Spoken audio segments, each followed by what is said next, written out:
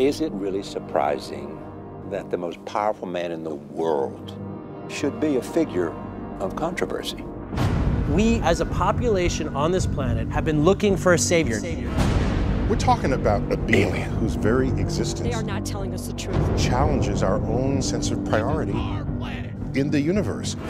Human beings have a horrible track record of Tragedy. following people of great Power power. corrupts, and absolute power corrupts absolutely. Chaos. Maybe he's just a guy trying to do the right thing. We know better now, don't we? Devils don't come from hell beneath us. They brought their war here. No, they come from the sky. The world has been so caught up with what he can do that no one has asked what he should do.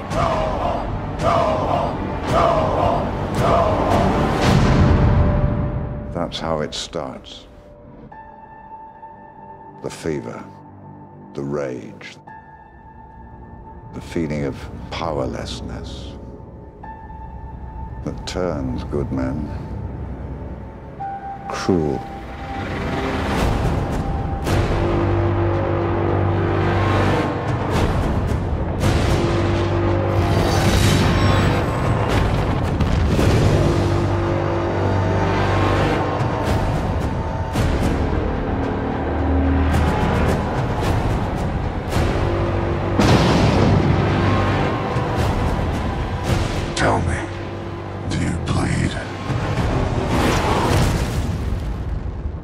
You will.